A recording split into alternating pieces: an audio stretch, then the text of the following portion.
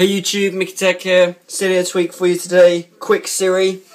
Obviously this is on my iPhone 4, so Siri isn't working at the moment. Uh, I've tried many proxies, as uh, my subscribers and a few of you that have probably watched my videos have seen before. Um, but I can still show you this anyway and how it works. It's in uh, it's modmyi.com.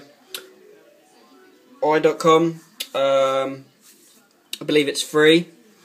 Um, so basically, all you need to do um, it basically you just download it. It goes straight onto your thing, you onto your phone. Hold down the home button, and there you go.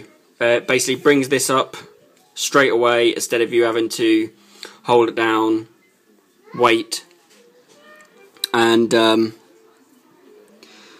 speak for it to give you your answer. Uh, so you know, uh, nice little tweak. Um, from there. So just go make sure you're jailbroken, obviously iOS 5 or higher because you've got to have Siri. Um, just type it into the quick Siri into the search bar on Cydia and download it. Uh, easy as that. Nice little tweak for you guys. Very short video. Uh, but thank you very much for watching. Please rate, comment, subscribe. Thumbs up the video. There'll be plenty more great videos coming on the way. Thank you very much, and I'll catch you all in the next one.